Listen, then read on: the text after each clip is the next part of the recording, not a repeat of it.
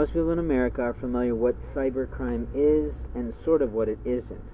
Many people in America are totally understanding of what identity theft is and isn't. However, what the component of both of those terminologies is that they don't think about the fraud that goes on, where those people committing those situations under the law are actually committing fraud. Fraud is when the person is earning income off another person's work. Fraud is when someone is benefiting from someone's opportunities and behaving like a jerk.